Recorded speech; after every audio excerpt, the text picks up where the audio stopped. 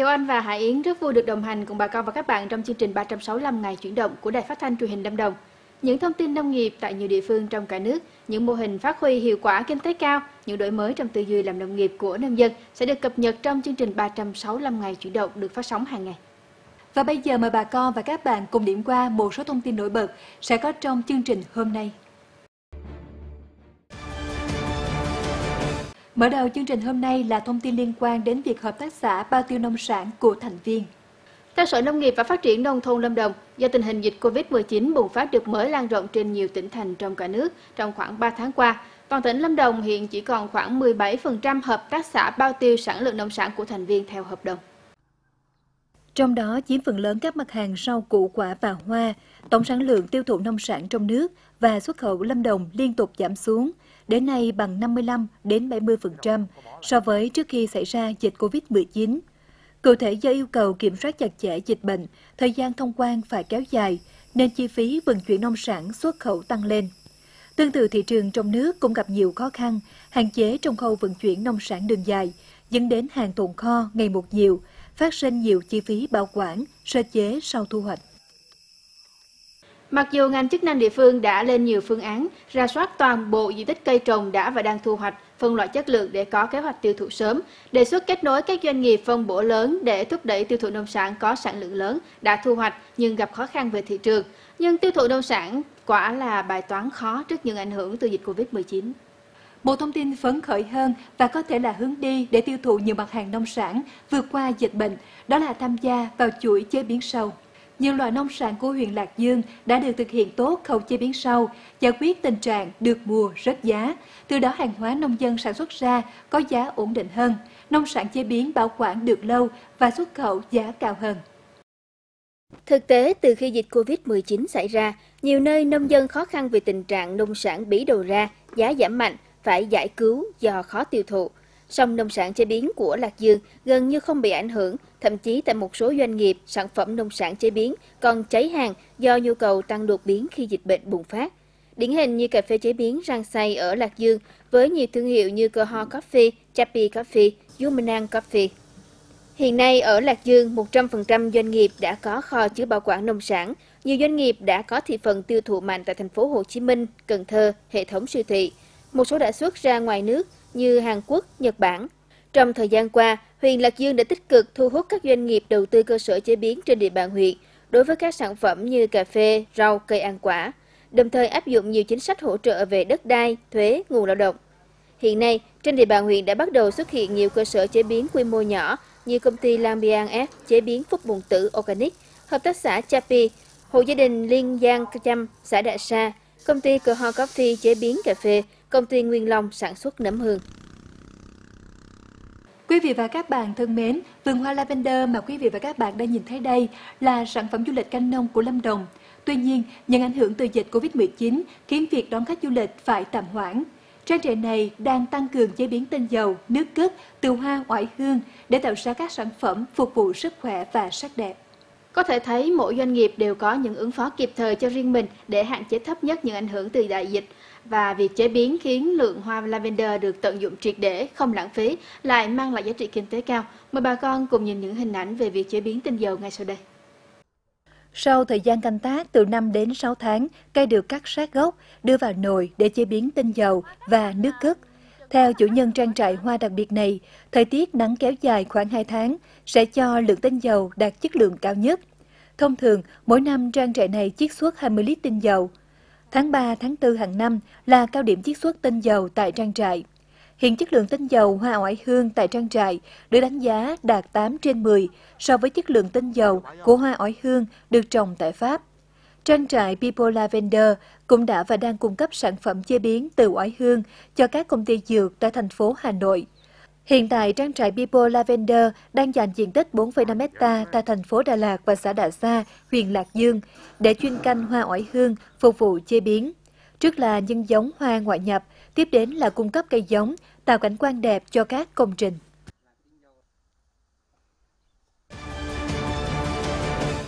Thưa bà con, Lâm Đồng là địa phương có nhiều điều kiện thuận lợi để chăn nuôi, nhất là chăn nuôi heo gà phát triển theo hướng hàng hóa. Trước đòi hỏi ngày càng khắc khe của thị trường, người chăn nuôi Lâm Đồng đã có nhiều đổi mới trong tổ chức sản xuất. Xây dựng chuỗi liên kết trong sản xuất và tiêu dùng sản phẩm chăn nuôi an toàn đang được xem là con đường ngắn nhất thúc đẩy sản xuất và tiêu thụ các sản phẩm chăn nuôi, tạo chuỗi giá trị bền vững, ổn định kinh tế cho người chăn nuôi. Lâm Đồng hiện có 5 sản phẩm chăn nuôi có liên kết theo chuỗi giá trị, gồm chuỗi liên kết tiêu thụ sản phẩm sữa tươi nguyên liệu, chuỗi liên kết chăn nuôi lợn, chuỗi liên kết chăn nuôi gà, chuỗi liên kết chăn nuôi bò thịt và chuỗi liên kết sản xuất tiêu thụ kén tầm. Nhằm phát triển mô hình chuỗi liên kết trong chăn nuôi, chế biến thực phẩm và kết nối thị trường, tỉnh Lâm Đồng đã tạo điều kiện để các tổ chức, cá nhân, các doanh nghiệp sản xuất chế biến, tiêu thụ sản phẩm gia súc, gia cầm trực tiếp ký kết, bảo đảm đầu ra với các trang trại, hộ chăn nuôi. Lâm Đồng xác định bò sữa, bò thịt cao sản, lợn, gia cầm, tầm là đối tượng vật nuôi chủ lực. Theo đó, tỉnh tăng cường chuyển dịch cơ cấu đàn vật nuôi theo hướng tăng tỷ trọng trang trại chăn nuôi quy mô lớn, khuyến khích phát triển chăn nuôi theo quy mô công nghiệp, chăn nuôi khép kín, chăn nuôi hữu cơ và ứng dụng công nghệ cao. Đồng thời duy trì chăn nuôi nông hộ, chăn nuôi truyền thống theo hướng an toàn sinh học, hạn chế ô nhiễm môi trường. Thưa bà con, nối tiếp chương trình sẽ là một số thông tin nông nghiệp tại nhiều địa phương trên cả nước.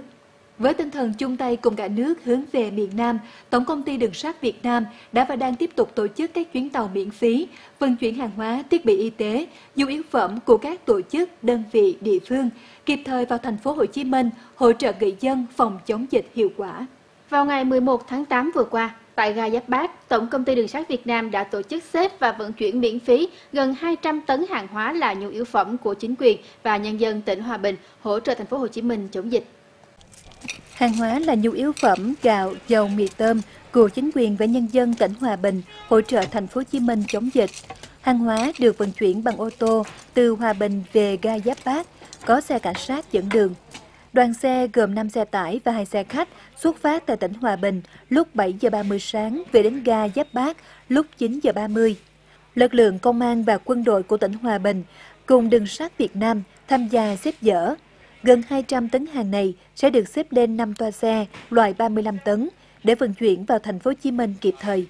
Trước đó, Tổng công ty Đường sắt Việt Nam đã hoàn thành vận chuyển miễn phí 35 tấn hàng hóa, thiết bị y tế, nhu yếu phẩm của bệnh viện Bạch Mai và bệnh viện Việt Đức tới các bệnh viện giả chiến tại thành phố Hồ Chí Minh. Đây là những chuyến tàu vận chuyển cùng với hành khách nên các điều kiện về an toàn phòng dịch đều chuẩn bị tương đối tốt. Vừa qua, Thống đốc Ngân hàng Nhà nước đã ban hành công văn số 5747 yêu cầu các ngân hàng thương mại và ngân hàng nhà nước chi nhánh các tỉnh, thành phố, khu vực đồng bằng sông Cửu Long thực hiện ngay các giải pháp có phần hỗ trợ các thương nhân, doanh nghiệp, người sản xuất, kinh doanh thóc gạo tại khu vực này. Vâng, đây được xem là giải pháp thiết thực góp phần giảm thiểu tình trạng ách tắc trong lưu thông, tuần ứ thóc gạo hiện nay tại khu vực đồng bằng sông Cửu Long. Đối với ngân hàng nhà nước chi nhánh các tỉnh, thành phố khu vực đồng bằng sông Cửu Long, ngân hàng nhà nước chỉ đạo cân đối đảm bảo đáp ứng đầy đủ kịp thời nhu cầu vốn và mở rộng thêm hạn mức tín dụng đã cấp cho thương nhân, doanh nghiệp để có nguồn vốn thu mua tạm trữ thóc, gạo và nâng diện tích, chất lượng kho chứa, bảo quản, chế biến thóc, gạo theo chỉ đạo của thống đốc ngân hàng nhà nước, không để xảy ra tình trạng ách tắc ứ động thóc gạo do thiếu vốn tín dụng. Thống đốc cũng yêu cầu bám sát diễn biến tình hình thị trường và việc cho vay thu mua tạm trữ thóc gạo của các ngân hàng thương mại trên địa bàn để kịp thời báo cáo Ủy ban nhân dân tỉnh, thành phố, thống đốc ngân hàng nhà nước các giải pháp tháo gỡ khó khăn, vướng mắc trong quá trình triển khai. Ngoài ra, tăng cường thông tin tuyên truyền để người dân, doanh nghiệp trên địa bàn nắm bắt được các chủ trương, chính sách của nhà nước, các quy định của ngân hàng thương mại về cho vay phục vụ sản xuất, thu mua, tạm giữ, xuất khẩu thóc, gạo và các giải pháp tháo gỡ khó khăn cho các khách hàng bị ảnh hưởng bởi dịch COVID-19 của ngành ngân hàng.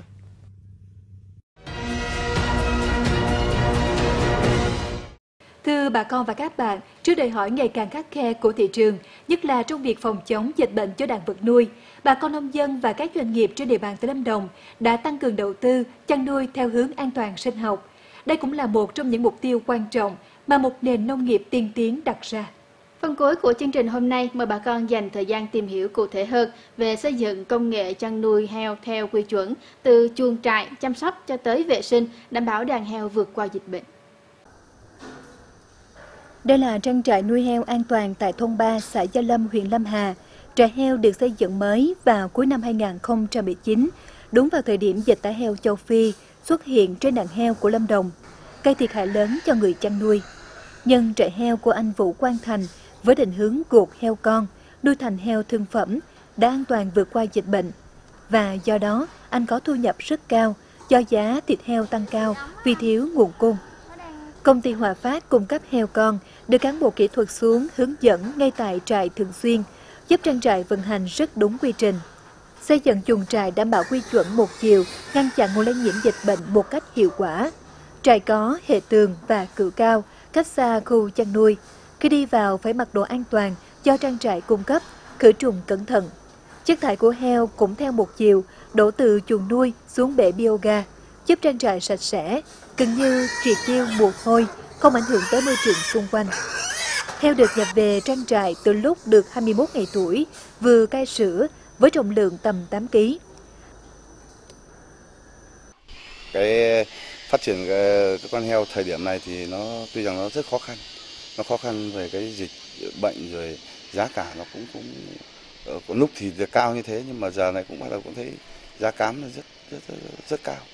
Nuôi thì nó cũng rủi ro thì cũng có nhưng mà phát triển con heo này thì nó hiện tại bây giờ là tôi thấy đang thấy nó ổn định. Ờ, về phía trại tôi thì uh, mọi thứ vào trại đều phải qua những bước uh, xử lý bằng khử, khử trùng, khử khuẩn. Về ờ, anh em kỹ thuật thì đấy nó làm rất kỹ càng từ ngoài vào trong. Bất kể từ bao cám, uh, cám khi đưa vào kho thì cũng đã đã xử lý từ lúc trước khi xe vào tới trong trại. Thế còn khi mà cám từ kho vào tới trong trại thì lại qua một lượt xử lý bằng khử khuẩn một lần nữa thì mới đưa vào trong trại được. Heo được nhập về trang trại từ lúc được 21 ngày tuổi, vừa cai sữa với trọng lượng gần 8 kg. Đây chính là giai đoạn quan trọng nhất đảm bảo chất lượng cho đàn heo thương phẩm. Heo nhỏ dễ bị bệnh hô hấp và tiêu hóa. Cán bộ kỹ thuật hướng dẫn bà con cách giữ nhiệt độ ấm và thoáng cho chuồng nuôi. Tập cho heo ăn thức ăn cứng với lượng phù hợp. Đặc biệt phải giữ vệ sinh chuồng trại và ngay cả người chăm sóc Đàn heo phải luôn được đảm bảo vệ sinh, có đủ sức để lớn nhanh, lớn khỏe, ít dịch bệnh, đạt trọng lượng cao. Thứ nhất là mình phải kiểm soát được con người và kiểm soát được xe cộ vô lại và con người vô ra như thế nào, và kiểm soát được cái nguồn thực phẩm và cách ly hoàn toàn những ờ, người ở ngoài và không được tiếp xúc. Và những người trong trại thì mình ở trong trại thôi và cách ly hoàn toàn ở ngoài luôn. Còn thực phẩm ở trong trại mang vô trong trại ăn thì hiện tại thì những cái nguồn à, thực phẩm à, hạn chế, những cái nguồn thực phẩm à, cung cấp ở ngoài như ví dụ như mua heo, mua đồ ở ngoài vô ăn là hạn chế không chỉ riêng về cái hộ của anh Thành thì em cũng mong các hộ chăn nuôi khác và để phát triển tới cái an toàn sinh học cao đề cao an toàn sinh học và làm tốt được cái khâu chăn nuôi của mình để sau này mình cũng sẽ đưa ra những sản phẩm ra thị trường chất lượng thịt tốt hơn. Trang trại rộng 1.500 m2 của gia đình anh Vũ Quang Thành luôn duy trì ở mức 1.000 con heo. Ổn định đầu ra là các cơ sở bán heo an toàn tại thành phố Đà Lạt và huyện Đơn Dương. Cứ hai ngày một lần, trang trại xuất ra thị trường trung bình 200 con heo thương phẩm. Khí hậu Lâm Đồng thích hợp với chăn nuôi an toàn sinh học, heo phát triển tốt, ít dịch bệnh. Việc xây dựng những trang trại chăn nuôi đạt chuẩn, an toàn và cho ra đời những lứa heo thương phẩm chất lượng tốt đã và đang mang lại thu nhập cao cho nông dân và các doanh nghiệp. Và nội dung vừa rồi cũng đã khép lại chương trình 365 ngày chuyển động hôm nay. Quý vị và bà con quan tâm, đóng góp, chia sẻ thông tin, vui lòng gửi email về địa chỉ 365 ngày chuyển động ltva.gmail.com hoặc gọi điện thoại về số 02633 829 930. Đến đây Hải Yến và Kiều Anh xin nói lời chào tạm biệt.